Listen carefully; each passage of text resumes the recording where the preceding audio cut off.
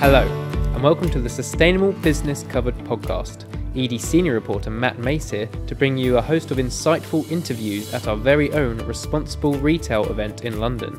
Now, it's the uh, morning of the event here, and delegates are currently enjoying um, some tea and coffee, probably to warm them up on what's been a rather chilly morning. Seems summer's well and truly over in that, that aspect. And for those of you that aren't aware, the Responsible Retail Conference brings together more than 100 UK retailers uh, to provide them with unique opportunities to network and inspire each other towards creating a more environmentally and socially conscious business model. We've got a host of, of, of speakers throughout the day, ranging from some of the incumbents from the likes of IKEA and, and perhaps some, some lesser known people like Smurfdome later on in the event. Um, who, who, are really championing um, plastic packaging. Well, not championing it, rather finding a solution for it.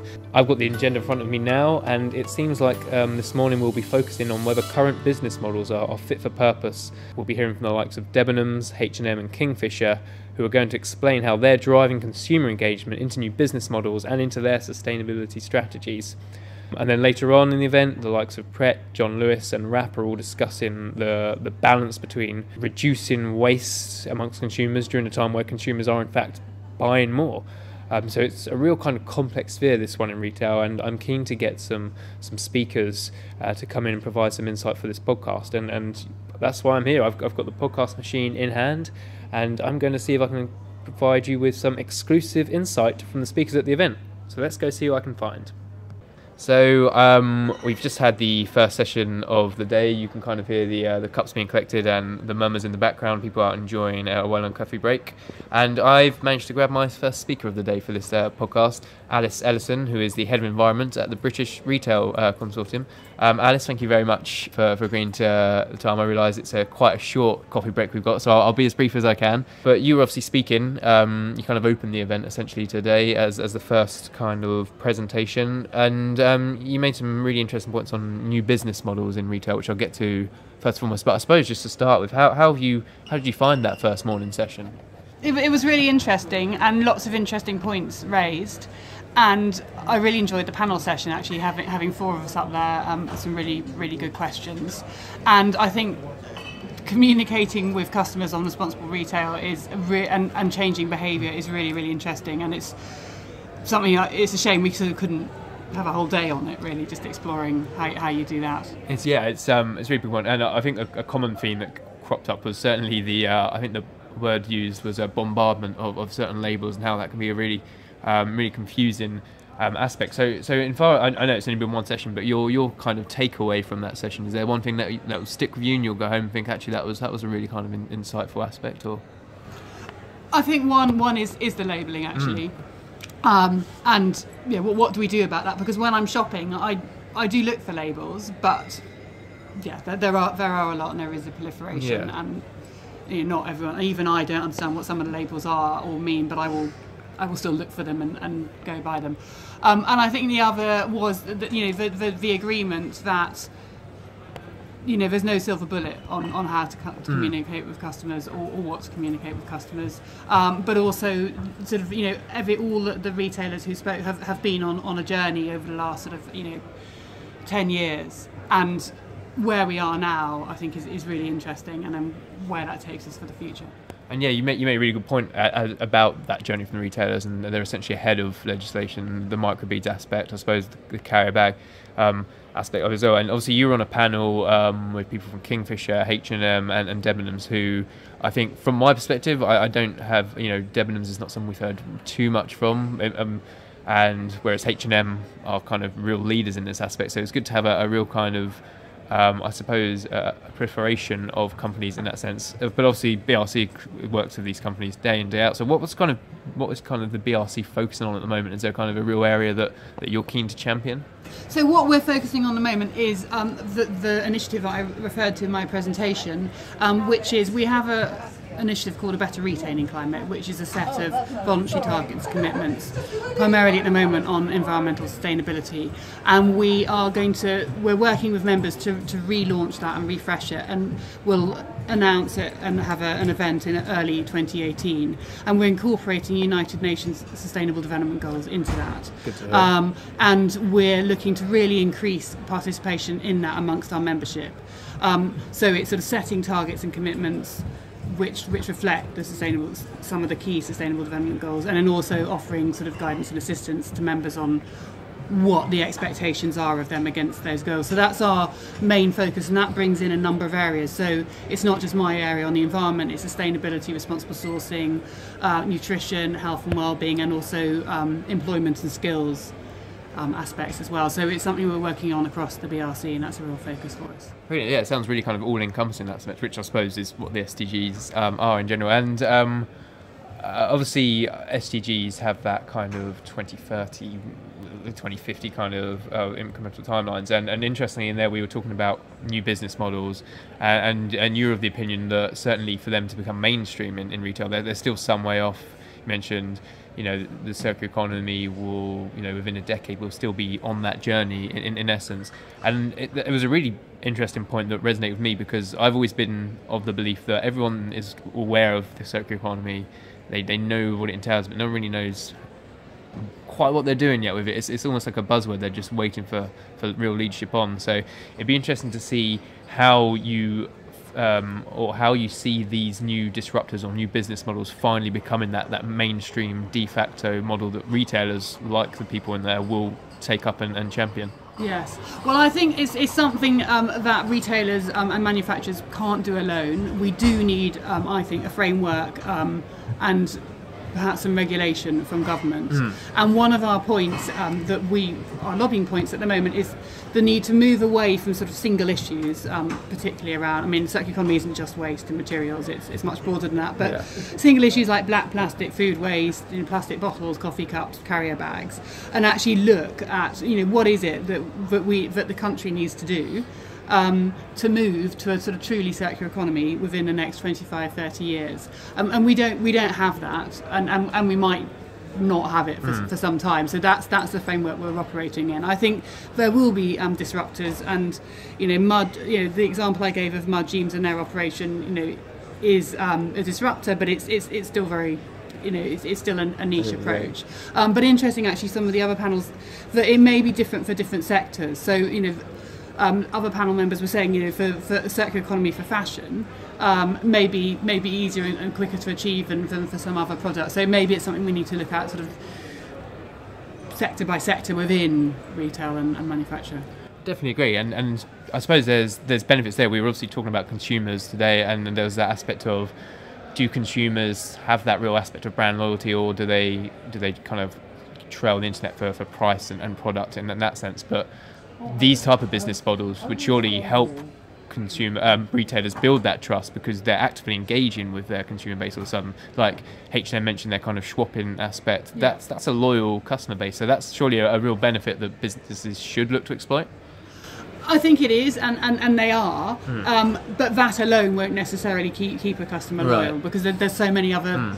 factors that they're you know they're they're thinking about. So you know, and there will also be sort of a number of. So if, if you were looking at responsible retail, responsible fashion, you could still choose from, from five or six, even just on, on that mm. element. But yes, it's it's definitely something that that, that would help, I think, in rewarding. Okay, that's, um, thank you very much, Tom. I realise we've not got long left for a coffee break, and um, uh, I, I, know I, ne- I need one. I'm, I'm, sure you'd quite like a, a, drink too. So just before I, I, let you go, a nice, nice broad question to finish on: uh, What makes a responsible retailer? That's a, that's a, that's a really difficult question. Um, well, as you say, it's, it's a very broad question mm. um, because what do we mean by responsible retail? So mm. so it. Um, you know, it can mean you know corporate social. Well, it means corporate social responsibility. But I suppose then looking again back to this, I would say the Sustainable Development Goals are probably would summarise what um, retailers should be looking at and considering to be sort of truly responsible. So all the things in there, all those 17 goals, will have elements that retailers um, can and, and um, should and are looking at. Okay, yeah, I think that's a really insightful answer, and, and thank you very much for your time. Thank you. So it is now uh, lunchtime at the Responsible Retail um, event um, we have actually commandeered the the speakers room where, where they kind of give their presentations. It's empty right now because everyone else is enjoying a lunch which I've been told is reduced meat because you know climate change is, is an important thing, and we we're trying to practice what we preach in that sense. But um, I have kindly grabbed one of the speakers and, and, stopped them from having lunch at the moment. So, um, Dorothy Maxwell, um, thank you very much. And for those of you that don't know, um, she is the Director of Sustainability at House of Fraser. Um, in fact, you spoke to um, us recently, about a month or so ago, a real kind of in-depth article exploring House of Fraser's um, sustainability strategy. So thank you for that, and now thank you for appearing on the podcast. You're you're ticking off both forms of multimedia in that sense. Um, how how have you found this event so far? Um, well, you know, the great thing about edie events is they're high quality events. There are a lot of opportunities for sustainability professionals to go to many, many different events, but I always find over the years edie events are very good quality in terms of the content. But the really great thing, and that happened here today, is that uh, in retail, all of the peers come together and other sustainability professionals.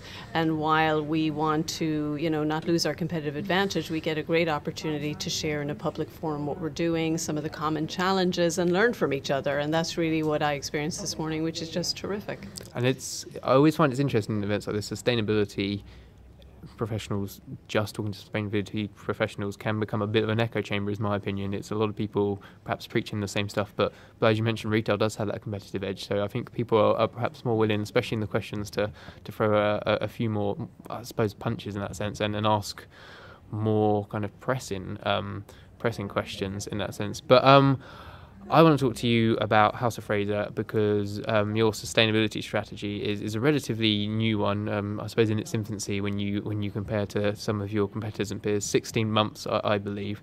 So that's that's an exciting time, isn't it? Kind of 16 months on. I imagine that's when you start to see the real tangible um, progress. Perhaps areas where you're excelling, areas as not so much. But how how did that go? That kind of putting that together because it's a new strategy you probably had a lot of other examples, a lot of other companies you could lean on for, for best, best practice examples, or was this a case of this was House of Fraser, you know, charting off into uncharted territories and, and setting its own agenda in that sense? Yes, well, I am 16 months in as the mm. person leading sustainability House of Fraser, and before that, while there were activities happening that you would, you know, expect to be happening, basic legal compliance activities, it, it is now a formal program, and we call it Responsible Retailer. Um, the beauty of formally coming late to the party is that there are many other examples out there, so that has enabled House of Fraser to draw from the best where it makes sense and to leapfrog. Um, but uh, my own view from, from doing this in other retailers as well is that first of all you have to get to know the business understand where they're at understand what are their genuine ways that they have environmental and social impacts relevant to their business and that's different for every business mm. so having done that when i arrived and then agreeing a roadmap of next steps and where we wanted to go and priorities and a plan and a program and all those things that really had to be turnkey to House of Fraser, and also how it has been embedded in the business and really championed by the business is very much a feature of House of Fraser's culture. And that's something we couldn't pick off the shelf from how mm-hmm. anybody else does it because it is a very unique heritage brand. And, uh, you know, I, I came into the company to drive a sustainability program because that is something that the senior executives decided they wished to have and they were very serious about that. So that has helped us to shape, design this program and also move it quite quickly, which has been good. So that must be one of the real key benefits of, of, like you mentioned, arriving late to the party is that senior executive not buy-in. It was literally a push from them to essentially establish, which I imagine for a lot of our listeners might be quite quite refreshing having that kind of high level commitment. But um, I, would be interested to hear that you know a relatively new strategy has been embedded, and I imagine like a lot of things, there's perhaps a couple of teething issues or whatnot. So how have you embedded that across the business and made sure that it's not a that sustainability is not, I suppose, a side piece or, or a, like a side attraction, that it is holistic in House of Fraser. Yeah, again, this was a great opportunity of, of starting with a blank sheet of paper and with uh, senior leadership that were really committed um, to having a sustainability program that was completely relevant to the business but also practical to what the business does. So the way we did it really was first of all to understand where the business was and to understand what we needed to do and where we needed to go. Um, and House of Fraser's culture then has a set of values that defines how the business operates, how the employees operate, and how their performance is tracked um, to, to meet its objectives. And these are House of Fraser's values. So, first of all, we embedded into those values um, our sustainability action and value around protecting people and the planet. That's mm-hmm. basically how we encapsulated it. So, getting it at that level meant it was inserted into the DNA of the organization. Then we um, agreed a very clear practical policy, clear aim three action areas and a program below that that would support the, the rollout of that. And also, we agreed a set of KPIs that link directly with the House of Fraser business KPIs. So these oh, wow. didn't sit across as sustainability KPIs that mm. were nice to do on one side, they came into the central business metrics of the organization and how we measure performance as an organization. And they relate to different parts of the business, so they might relate to energy use and uh, reducing our contribution to climate change in a store, or they might relate to um, improving the performance of our suppliers in terms of ethical and environmental credentials across the supply chain. So they cover all the touch points of the business to start, but of course we are only at the beginning. We're only about mm. 16 months in. So operationalizing all of that you know, it will be something that will keep us busy way into the future. And of course, the benchmarks are always changing. This is a, a program that's all about continuous improvement, so we will look to get better and stronger, etc., as we go forward and keep flexing and adjusting the program with that. But we have the bones in place, and the bones are really strong, and the business is committed from the chairman to the COO, who. I hmm. report into, and that has really, really been. Um, uh, a key success factor in what we've been able to achieve in these first 16 months. That sounds um, that sounds really impressive in the sense that, like you said, the bones are there, the structure in place, and it's something you build on. But as you mentioned, especially um, in areas of retail that House of Fraser is probably most well known for areas such as like clothing and whatnot. It's um, sustainability is, is ever evolving. It seems every other week a, a, different kind of issue will emerge from the supply chain, whether it's factory conditions, human rights, chemical use is, is a real is a real big one. So how how does a company that has a, a relatively new strategy in place then also kind of scan the horizons for perhaps emerging, uh, I suppose, concerns rather than as well as opportunities? Well, it's a never ending job, and myself and the small team that works with me, you know, we're hooked into various key sources of information where we can keep ourselves up to speed on really good, critical data. Your events, like Edie and other good events, are also great ways to keep hmm. oneself mm. up to speed. Um, and we're a member of a number of collaborations as well that help us to, we attend certain working groups on things like environmental protection, chemicals management, responsible sourcing, and so forth. And all of that combined together helps to keep us up to speed. Um, but also, also one of the key things that we're doing um, is with our suppliers. So we have a responsible sourcing code of conduct, and it outlines what we require of our supply base in terms of things like animal welfare, environmental protection, labour practices, health and safety, mm. and so forth. And constantly engaging with them, which is a feature now that we've been doing quite a lot of over the last year, so they understand what those expectations are, but also that we grow capacity because, as you're highlighting, there is always something new. So how one can really deliver on a lot of these things that would be in our code of practice, that is something that suppliers need to really understand that and what are the latest tools and techniques and so forth. So we've been really trying to be proactive and we'll do more of that to really grow that capability within our supply base. And then they more easily can deliver on the things that we're asking of them.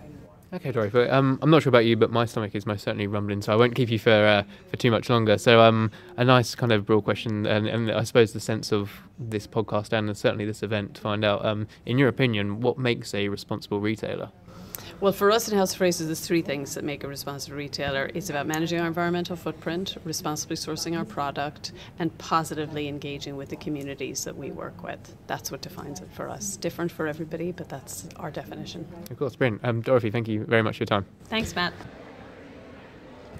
So we are approaching the end of lunch um, at the Responsible Retail Conference. Um, in fact, I think people are just about to start heading in soon. So the uh, the next conversation I've got will, will, have to be brief, but I'm sure it'll be uh, still very insightful. I've managed to grab um, Owen Griffin, the uh, Corporate Responsibility Manager at the uh, John Lewis Partnership. Uh, so thank you very much for um, taking time out from a rather busy networking session by the sounds of it. Um, so you are about to go go and sit in, um, and I suppose it's on a session that's very similar to the morning, but this morning one, it's it's focusing on that consumer engagement aspect of it. And I, I, noticed that um, some of the stuff that you and, and Delix and WRAP will be talking about is is kind of driving um, you know driving sustainability during I suppose an era of increased consumption essentially. Yeah. And I know one of the uh, one of the particular um, talking points will be choice editing, and it, it's something that I I think is a, a great idea to change behaviours. But in terms of engaging consumers on a sustainability strategy, I do wonder how engaging it is because it's essentially not really promoting sustainability, it's just removing the other end of the debate. I'd, I'd be interested to hear your thoughts on that. I think uh, choice editing has, emerged as definitely as a theme um, of today's conversation so far, and I think you know it isn't a natural place to go to for for the, for JLP for the John Lewis or mm. Waitrose. We are much more concerned about raising standards across all our products in terms of sustainability and um, sort of human rights, social compliance, and that side. So really, I suppose it's it's just one of a tool you can mm. use to kind of uh, manage your impacts, um, manage the type of products you're selling to your consumers. It's just something you would use probably in more in very specific um, and very uh, sort of very different situations um, for a retail business. For a company that is focusing on raising those standards across the board, how how does how do you then, I suppose, give that information to consumers in a way that isn't isn't preaching and, and doesn't perhaps overload them with, with stuff that they not don't care about, but perhaps don't have a full grasp of understanding on? Um, I think you know you just have to be very open about the reasons why you, you do certain things in an organisation. You know we don't we, are not able to please all our stakeholders. Um, there are certain NGOs and, th- and, things who wouldn't agree with certain things that we're doing or, or, some of the products that we that we sell. So what you do is you try to explain what exactly you're doing to address any concerns about how those products are made or sourced. Um, and I think again with with choice editing, where you do potentially have to remove an option. Um, you want to be really clear to the consumer exactly about why you're doing it and what your intentions are, and that you have done the sort of the due diligence to to um, to back up why you're doing it. Mm. And one of the uh, the key things I've taken away from this event so far was the uh, I suppose the ever well the never-ending debate of the use of labels as a, as a kind of eco platform, and um, you know. I think it was said there's 140 labels that can essentially be put on a, on a package, and it can be a bit bit too overbearing for, for some consumers. Um, and we're also getting cases of a lot of retailers perhaps dropping these labels to, to promote their own kind of in, um, sourcing aspects. So, um, how how does how does John Lewis um, view that? I mean, I know I know you're you're really promoted to kind of ethical standards and, and, stuff like that. But do you ever see an occasion where perhaps Lewis partnership will be not dropping these, but perhaps um, lessening the reliances with NGOs, as you mentioned, to champion your own standards?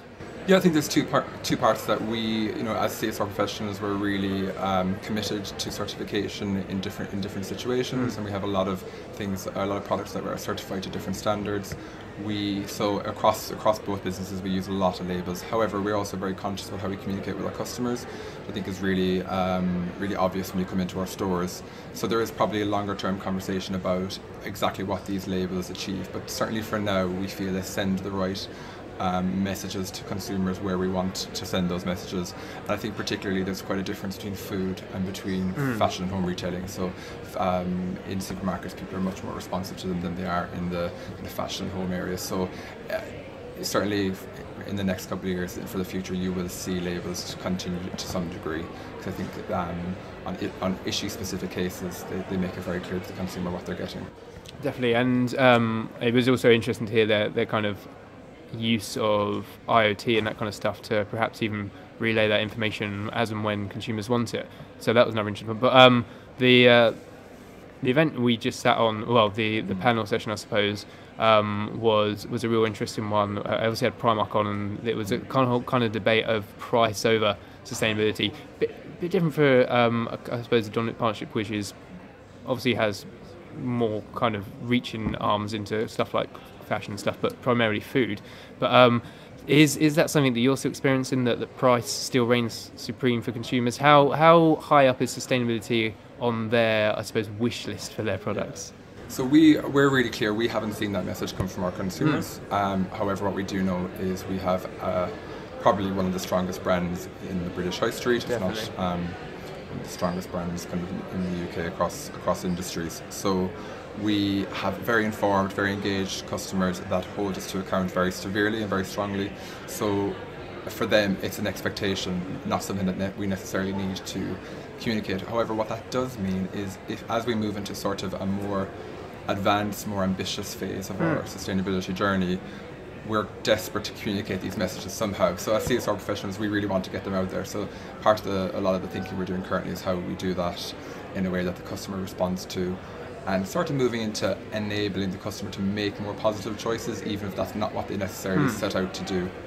Um, so it's a really, really interesting time for that conversation in the business. And I imagine as well, um, new business models emerged. Um, not so much circular economy, but also stuff like servitization, uh, or um, again, food for the food industry. I'm not sure quite how, how quite how that would work, but um, it's essentially a chance to strengthen that that relationship between brand and um, and consumer. And you mentioned, you know, Yeah. John Lewis is one of the kind of most recognisable, well, high, highly established um, brands out there. So how did how does an exploration of new business models, whether it be servitization, whether it be economy, whether it be essentially placing consumers back at the into the heart of the value chain, how, how is that going to really build trust and, and expectations amongst your consumers? I think, yeah, you, you must have had an insight into some of our internal work conversations. But basically, you've, you've, you've kind of put a nail nail on the head there. So, uh, if you read a lot about what we're talking about as a wider business, currently it's about putting the consumer, the customer, really, really back into the heart of the business. And so, the challenge for us in, in sustainability and CSR in, in the business is to take that message on board. And some of the thinking we're doing around now around the circular economy is about how you interact with the products and services, particularly in John Lewis department stores, not, not so much Waitrose. And if you purchase something, what can we do with your old product? What can we do with those materials? How can we uh, give you a better service um, around that sort of customer journey while ensuring we um, take responsibility for old, for old products and things like that. So it's a really, really interesting time, but we're certainly very aware of the challenge that if we do something in sustainability in this kind of next phase, that the, cu- the customer has to be at the heart of it. And I think actually that's not something that's come out of the conversations so far today. Okay. I think there's not a lot of marketing, not a lot of communication people in the room. And Yeah. if you speak to those types of guys, they're really passionate about how we can sort of um, communicate around these new these new areas in the future. It sounds like a, a really kind of exciting time um, for the John Lewis partnership, and um, we're a um, time constraints right now, pretty close. So just before I let you get on and prepare for your uh, panel session, um, the the question I'm asking uh, all our kind of um, guests on the podcast this week is essentially the name of, of the conference. You know, in, in your opinion, what makes a responsible retailer? Um, I think it's for me, it's uh, it's peace of mind. So there's a couple of go-to brands, a couple of retailers I know that I like to shop from because I don't have to worry too much about checking where the labels are, checking where the product's made, checking this, checking that. I just know that from all the communications, a really engaging uh, brand journey, that I, I feel rest assured that I can purchase sort of ethically from that, so that brand. So for me, a responsible retailer is one that doesn't have to send any complicated messages or say very much. But you as a customer are kind of are, are kind of uh, can be rest assured that it's it's okay. Okay, so they're not they're not trying to sell anything to you because you, you know that Yeah. it's comfortable almost. Yeah, and you just you, you get you get their story. You understand. You know, Patagonia might be a good example. Mm. You know that even if everything isn't perfect, they're certainly working towards the last Definitely. bit. Um, I know a couple of other you know food brands, Divine Chocolate, whoever it is, you Mm. know who to buy from because they've really made the sustainability uh, part of their brand experience, and that to me is getting being both responsible and actually just being a good retailer. Okay, yeah, I think that, that balance is definitely important. Um, okay, and yeah, uh, thank you very much for your time. Um, it's been been a pleasure. We have um, just finished uh, the, the second kind of, I suppose, session of the day. Um, well, the second one I sat in. We're about uh, three quarters of the way through the event so far. And uh, people just um, stopped off for a well-earned coffee break. So the session we were just in was all about, I suppose, retailers' responsibility for for consumer consumption. It's essentially, it's the, the idea that consumers have more disposable income and they are, in essence, consuming more. So how, how do retailers kind of manage their, their waste footprints? And, and who better to talk to about that um, than the um, the uh, area manager for sustainable textiles from WRAP, uh, Lee uh, Maple Durham. So Lee. Um, thank you very much for, for joining in this. Um, I realise as well that um, it was quite an interesting panel in the sense that obviously textiles is your expertise, Yes, but um, right. a lot of the uh, the focus on that was um, kind of coffee cup. I think Pret was quite um, Yes. quite bold in what they were saying, but it was the whole a- aspect. What he ma- the, the point he made was that there needs to be a great consumer involvement, I suppose, in, in the waste aspect of it, um, and I suppose it's the aspect of, of a linear. Uh, a linear consumption model. So before we kind of get onto that, I, I'd just like to grab your thoughts on, on what you what you thought of that event. How how insightful did you find it? What were you going to take away from that as a, as a real eye opener for you? Um, well, I think I, I sort of take away that there's, you know, definitely a shared responsibility between the retailer and, and consumer, uh, but I think there's, um, and the consumer has a part to play. That it, you know, the, the uh, retailer can give out information and and ask um, or sort of inform the consumer what they need to do.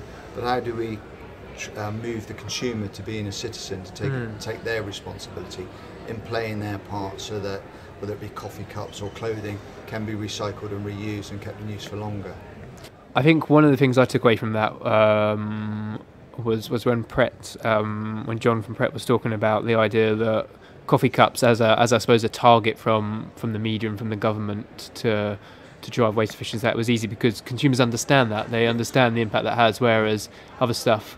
And I suppose in the textiles, they may not necessarily understand, you know, the the thought process behind sustainable cotton, how that really impacts a person in that sense. Um, and so, as a person with that kind of expertise, how, how do you see the kind of state of sustainability in the kind of textiles industry at the moment?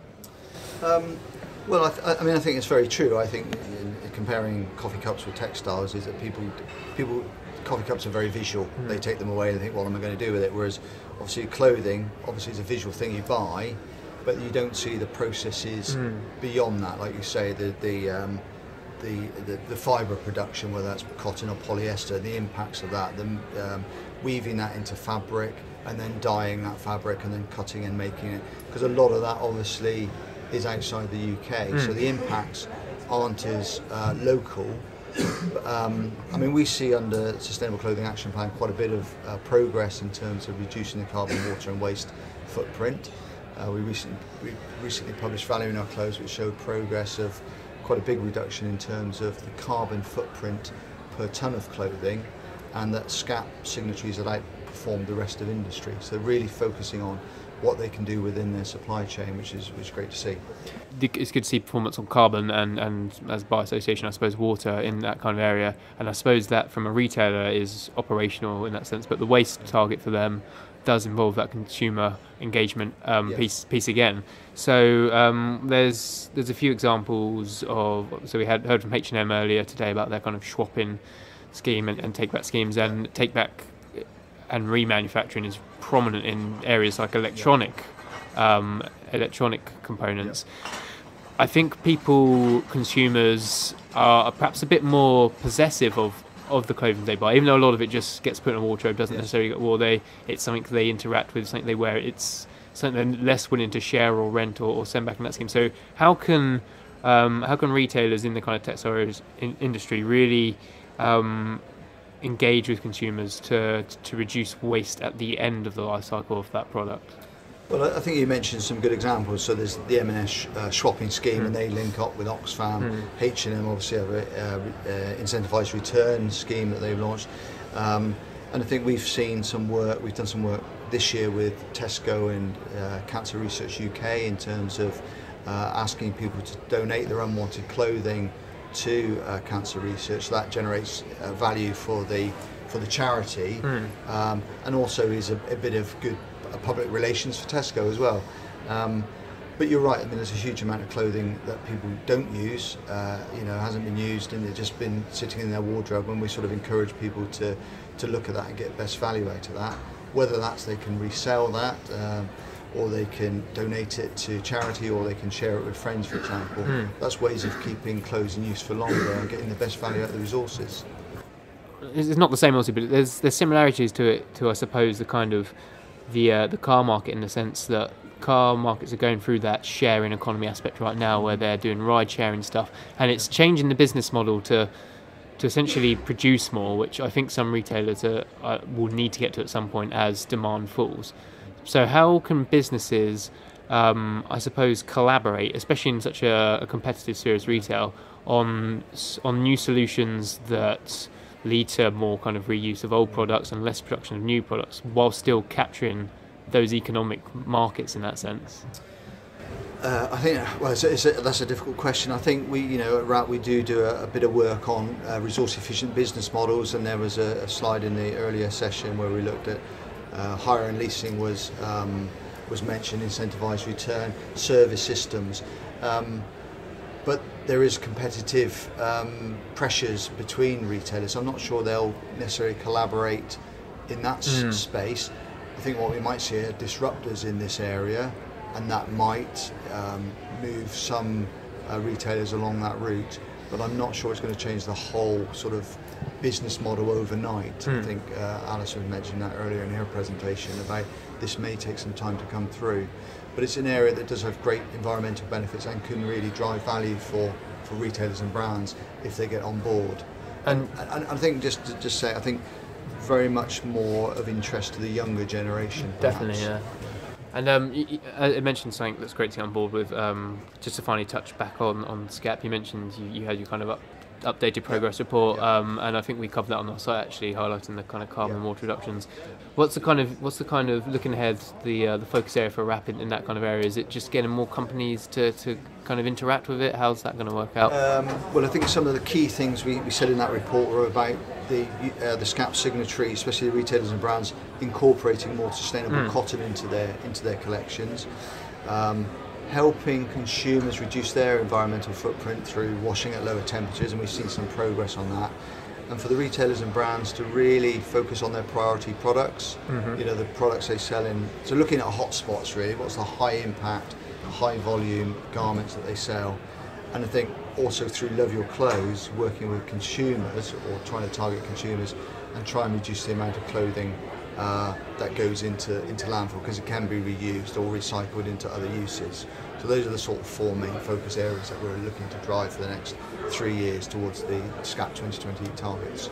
Okay, so it sounds like there's lots of areas that retailers can, can go down, and um, obviously we've been talking about coffee cups, and that's certainly made me thirsty for, for a coffee. So I will, I will kind of let us uh, get on the way. So just before, um, just before I let you go, then I suppose um, a nice broad question to finish. And, and in your opinion, what what makes a responsible retailer? Uh, that's a good question. I think for me, it's a, a, retailer that considers the whole life cycle of its products. So it looks at the supply chain, where the products come from, and there's some presentations this morning about tier one, tier two, uh, going going down the chain. But also then what happens to it at, once it's left the store, and what they can do to help the consumers in terms of maximising the value of that product, and maybe returning that product, uh, increasing reuse. So looking at the waste hierarchy effectively. Okay, um, that was brilliantly. Thank you very much for your time. It's been a pleasure talking to you. All right, thanks, Matt. Okay, so we've just finished the final event at the Responsible Retail uh, Conference. Um, quite fitting that a, I suppose, a powerhouse in this area in, the in forms of IKEA kind of saw us home with their kind of live lagom uh, lifestyle. Um, but I thought just before, just before I, I let everyone get on the, the, trains to go home, I, I managed to grab um, someone who's been uh, a, a key part of this this um, event today. He, he's chaired throughout the whole day and has, has been tasked with perhaps inspiring the audience to deliver a few questions at times when it was a bit of a lull and, and also provide his own insights. And that is um, Dr. Mark Sumner, the uh, lecturer in sustainability, fashion, and retail at the University of Leeds. Um, Mark, firstly, thank you very much for agreeing to come on this quick podcast, and also thank you for uh, for chairing um, today's event. Um, how, how have you found it? I, have I've really enjoyed it. This is the second time I've chaired the event, um, and I, I just find it really interesting coming along to these events because there's so many different things going on across the retail landscape. Um, we have been hearing about some new things that we hadn't seen before. We've been having an update on um, some existing um, projects and seeing how they're progressing. And we've also been listening to, to some brands and some retailers that haven't really been in this space before and really starting to get an understanding of how they're progressing and, and you know what they've been learning from their the start of their journey. So it's been a really interesting um, uh, overview of sort of what's happening in retail at the moment. Yeah, I think we definitely saw that in the last panel, especially when you had IKEA kind of next to Surfdome. I think everyone knows who IKEA is, but perhaps not many people know about Surfdome and, and especially what they're up to. Um, and that was a, a, really kind of big area for them on, on that packaging, which I think is one of the key trends facing retailers at the moment is is not so much their products, but how, how their products are interacting with their consumers. You know, online shopping leads to more kind of packaging as a result. But um, you're obviously far more um, well educated in this than I am. So, in, your opinion, what what kind of um, what kind of things do retailers in regards to CSR and sustainability need to be focused on right now that, that um, perhaps it's something you put up today or just something you're acutely aware of that you think this needs to be higher on the agenda? I think the, the, the packaging um, situation you're talking about is quite an interesting example to, to, to, to explore. I think that the challenge that retailers have got is that there is a tension between understanding and knowing what the science is telling you. So when we when we look at the science, when we look at life cycle assessments, when we look at the data that is floating around, that is telling us actually the biggest impacts, whether it's environmental or social, the biggest impacts are associated with the product. Um, after that, it's about the product use and also what the consumer does um, at end of life. And packaging, although is is very uh, very visible to the consumer, isn't always the biggest issue that, that we, we need to be looking at. So there is a tension for, for brands and retailers to try and balance up the science that they, they, they know is, is there talking about the, the um, issues that, with their products and with their, their operations, balancing that up with um, almost myths and, uh, that, that mm. are hmm. floating around within the consumer world. And some of these myths are propagated by media and propagated by, by certain NGOs. Um, and importantly, we can't dismiss those myths because consumers are part of a very important relationship with, with, with the brands. Um, and that's why there's a tension there. I think it's trying to work out how the brands can can work with consumers to address some of those challenges that consumers are bringing to the table, but actually also not take their eye off the ball in terms of there are some really big issues that actually a lot of consumers may not be aware of. Um, and that is not as simple as, as some people have talked about in the past of, of just educating the consumer. Um, we know from the research that we've been doing at the university in Leeds um, that um, consumer engagement can be actually dramatically reduced if you try to educate them and try and overload them with information. So for me, it, it's not a specific, a specific issue or a specific challenge of, you know, is it plastics in the ocean, is it social welfare within um, the supply chain? It's actually a, a, more nuanced challenge of trying to balance up that science with um, ensuring that you're, you're taking the consumers with you on this really very complicated journey that we call sustainability. And I think one of the the more challenging things about sustainability is the fact that it doesn't necessarily sit still. I mean, today you've had examples. Um, I think it was Debenhams joined the kind of ethical trade initiative back in 2001 and have slowly built up. We've heard from House of Fraser who launched their first kind of sustainability strategy just 16 months ago. So and it shows the the kind of wave in, in what is essentially 16 years how much sustainability's come on. As as a as a lecturer um, in this, you're I suppose you're interacting with ideally the people that are going to be the next kind of generation of, of these retail leaders um, perhaps. So is, is there something you've seen that's perhaps de- developed over the years that um, professionals in this area now need to develop more so than they have had to in the past? Yeah I, I think I think one, one of the key challenges is trying to get sustainability embedded, truly embedded into the business decision that goes, the business decisions that go on at board level and all the way down through to um, uh, middle management and down to you know even those small decisions that are made within buying teams within within a retailer um, and a brand. Um, and, and what what we need to be thinking about there is is is how we can make sustainability less about it's a special aspect. It's different to all the other business hmm. decisions. Mm. If we can bring it in and say it's part of uh, the business decisions you make about logistics, that you make about marketing, about what you make about PR, I think it's got much more opportunity to be embedded. The challenge is how do you do that? How do you actually get it embedded in the business decisions? And I think what, one of the things that we we need to start thinking about is, is, is for example, um, externalized costs. If we can start to understand what those external costs um, of climate change may be, or the external costs mm. of social injustice may be, if we can start to understand what those internal external costs could look like when we when a brand has to internalize those into their own cost structure and then what does it mean for their consumers in terms of prices I think we can then start we end up start talking a language that the business community is very fluent in pounds and pence as opposed to trying to balance up, you know, some very very complex Mm. um, issues.